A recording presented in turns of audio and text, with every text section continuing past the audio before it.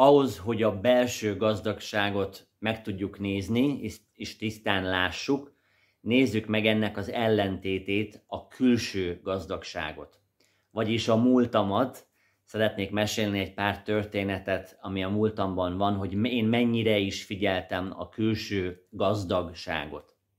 Az első az, hogy nagyon meg akartam felelni híres embereknek, gazdag embereknek, és a szüleim, akik ugye sikeresek, így viszonylag könnyű volt, hogy, hogy sikeres körökben vagy gazdag körökben tudjak járkálni és is, ismerkedni. És mindig kedvesebb voltam, rugalmasabb, jobban alkalmazkodtam, akik, amikor bemutattak, vagy amikor találkoztam más celeb, híres, gazdag emberrel. És ugye ez mennyire erősíti meg azt, hogy én a külső, mennyire figyelek a külső gazdagságra. Van is egy példa a családon belül, van egy nagy bátyám, akinek sok sikeres üzlete volt, és akkor egy nagy mercivel járt, és jött a Covid idő elő, előtti időszakban, akkor el kellett adni a boltokat, és egy Suzuki Swift, egy piros színű Suzuki Swiftet használt körülbelül két-három évig. És nagyon érdekes, amit mondott, hogy, hogy Péter, sose felejtsd el, de amikor Merciben ültem, akkor mindenki kíváncsi volt, hogy ki ül a Merciben távolról, ki az, aki a Merci mögött ül. De amikor a Suzuki Swiftben ült, akkor senki se, akkor a kutya se nézett rá. Most ezt most szó szerint így mondta. És hogy mennyire megerősíti azt, hogy mi, mi hogyan figyelünk a külső, külső dolgokra, külső gazdagságra. Másik pont az, hogy megfelelni másoknak.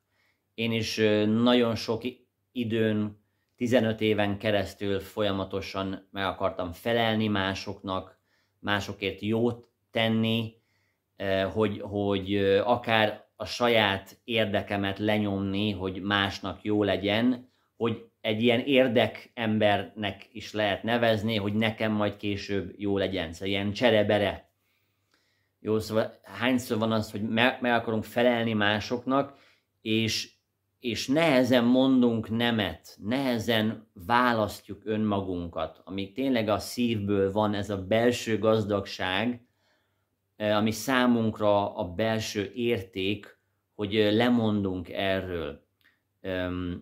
Ha esetleg nem tetszik másoknak, vagy azt gondoljuk, hogy fájdalmat fogunk okozni másoknak, akkor sokszor lem, lemondunk erről, és, és, és nem merjük, vagy nehezen tudjuk kimondani azt, hogy sajnálom, de ez, ez nekem most nagyon kellemetlen, ezt most nem szeretném megcsinálni, vagy nem tudom megcsinálni. Egy példa azt, hogy a pletyka, megint a külső gazdagságról egy példa, hogy a hányszor van, hogy pletykálunk másokról, negatív híreket erről a dologról, arról a dologról, amikor, amikor rosszakat vagy negatív dolgokat mondunk egy iskolában, munkahelyen, legyen az bárhol. És a belső gazdagság, itt most a napokban gondolkoztam, hogy mi is az a belső gazdagság.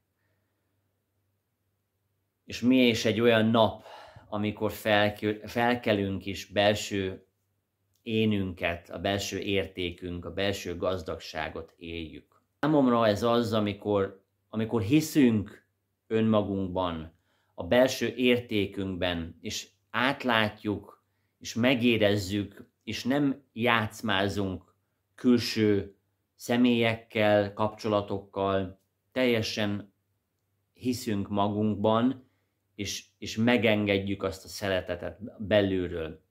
Számomra ez az igazi belső gazdagság.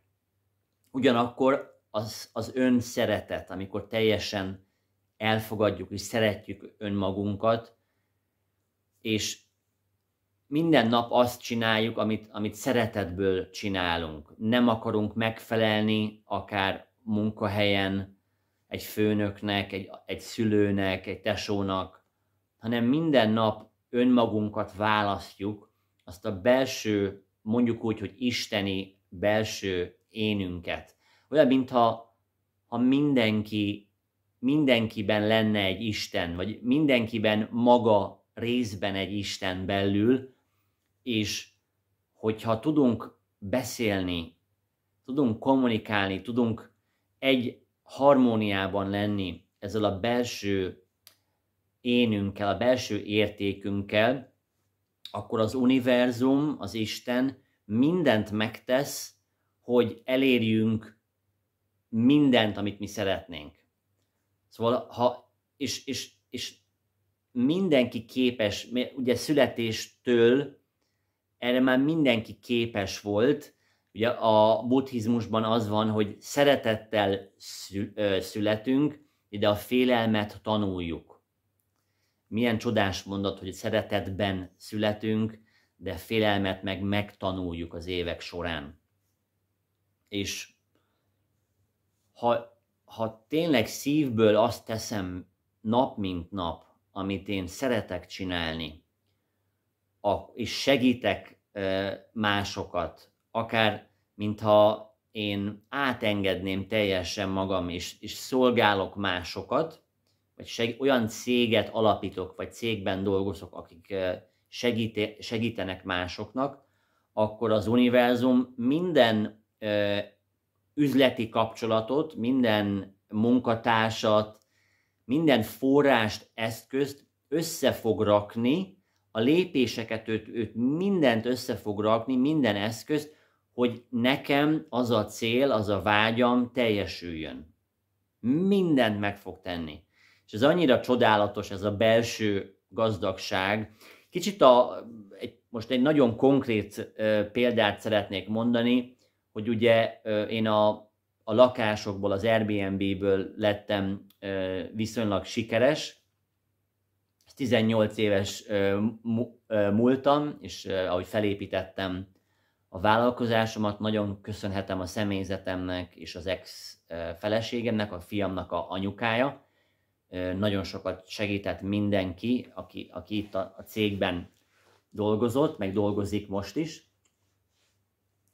És ami érdekes, hogy Ugye most az időmnek a felét az gyerekekkel, gyerekkönyvolvasással, előadásokkal, tanfolyamokkal tartom, és ezt is ugyanúgy szívből szeretem, szívből csinálom.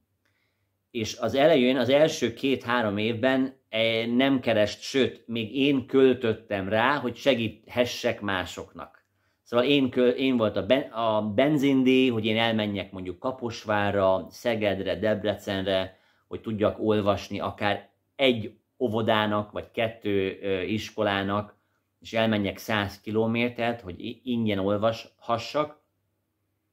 De az érdekes dolog az, hogy ha mi ezt folyamatosan minden nap csináljuk, akkor a univerzum nagyon rövid idő alatt mindent megtesz, hogy ezt egy életen át tudjuk folytatni, és tudjunk szolgálni másokat. És ezáltal a, az én szívem is úgy érzem, hogy egyre melegebb, egyre nagyobb, és egyre jobban érzem, kicsit, mint azt a példát mondanám, hogy mint amikor ugye Mózes csak egy ember volt, és öm, ő teljesen átadta, teljesen hit benne, hogy ő szeretne segíteni a népén.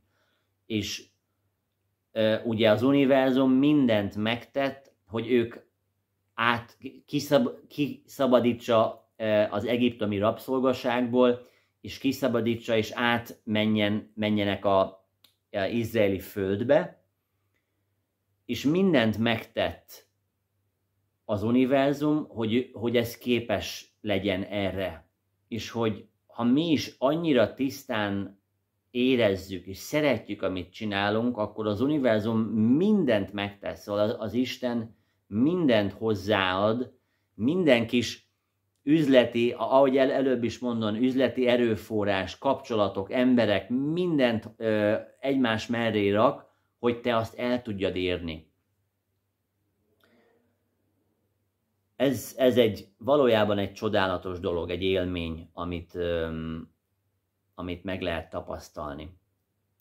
A mai nap szeretném megint hálával mondani, hogy nagyon jól esik, hogy a, a csatorna nő, nagyon, hogy egyre többen hallgatjátok a videókat. Akinek tetszé, tetszenek ezek a videók, léci, iratkozzatok fel, vagy egy lájkot nyomjatok, hogy én tudjam, hogy melyik videókból tudok többet adni nektek, és még egyszer nagyon köszönöm mindenkinek, nagyon hálás vagyok és ahogy előző videókban szoktam mondani, akik figyelik a, a csatornámat, én heti egyszer-kétszer imádkozok, hogy egy pénzben, boldogságban egy nagyobb áramlást kívánok mindenkinek. Szóval köszönöm nektek, és legyen egy csodás napotok. Sziasztok!